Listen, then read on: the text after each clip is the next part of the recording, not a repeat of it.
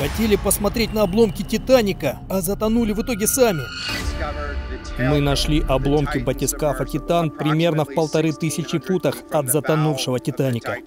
Приносим свои глубочайшие соболезнования семьям. Напомним, батискаф был длиной всего 6,7 метра, а шириной 2,5 метра. Запаса кислорода было на 96 часов. Стоимость билета составляла 250 тысяч долларов. На борту находилось пять человек, и самая злая шутка судьбы – это то, что генеральный директор компании-разработчика батискафа утонул вместе с двумя миллиардерами. Как думаете, это все зловещая карма Титаника?